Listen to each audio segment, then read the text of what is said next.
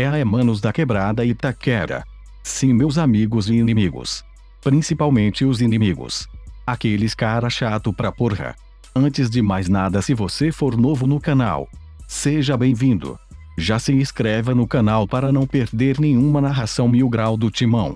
Eu cheguei no seu YouTube para narrar mais um empate do Timão. O Coringal enfrentou o Fortaleza. O time revelado pelo Rogério Ceni.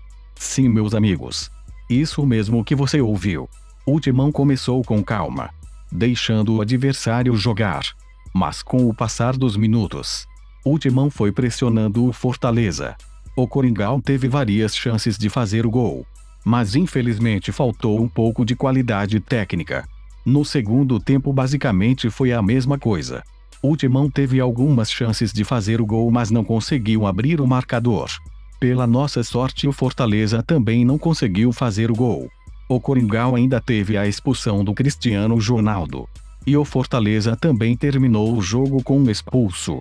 O próximo jogo do Timão será realizado em Itaquera, contra o São Paulo. Queremos os três pontos.